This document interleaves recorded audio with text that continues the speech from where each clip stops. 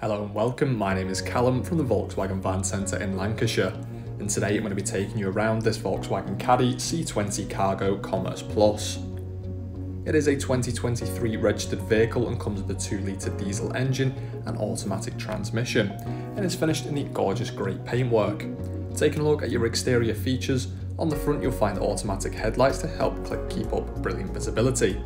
You've also got the styling of the steel wheels with the trim caps there in silver and around the rear you'll find parking sensors aiding you in manoeuvring via audible indications.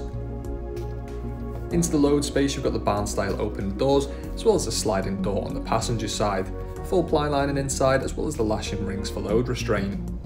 On the driver's door card you'll find the electric windows and electric door mirror controls and inside you've got some fantastic modern styling here with the fabric upholstery offering armrests for the driver and passenger. On the steering wheel you'll find the cruise control and speed limiter functions as well as volume for the media system. And over to the right you'll find the next and back buttons as well as controls for the digital cockpit screen.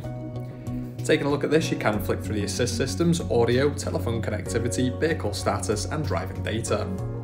Over to the main media system, there's plenty to explore here as well. You've got DAB digital radio offering stations from across the country, as well as your own personal inputs via Bluetooth audio and USB connectivity.